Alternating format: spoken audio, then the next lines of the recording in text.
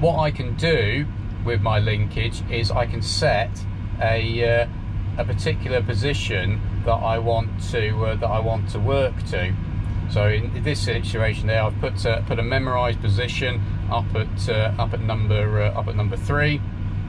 and what I can do is I could set my uh, my working depth to uh, to match up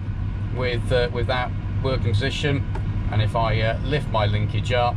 it's gone all the way to the to the top, and then obviously when I click down,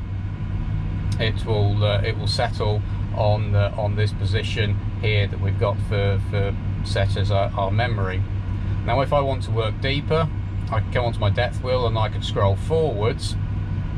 but then to, uh, to get it to, uh, to jump back up to that memorized position is I can press down,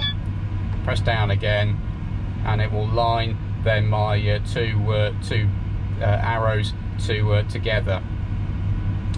Firstly then if I go, decided to, I wanted to work shallower, I've raised my implement on the depth wheel. If I just do a single click down it will line up go back to my memorized position and uh, and set the working depth. Now there is a button on the uh, side of the armrest which does that same function. So if I go deeper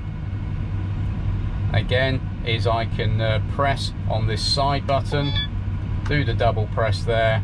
and it will uh, raise the linkage back to my preferred working depth. Or if I go uh, go shallower with the implement if I just do the single press there it lines it back up with uh, with our control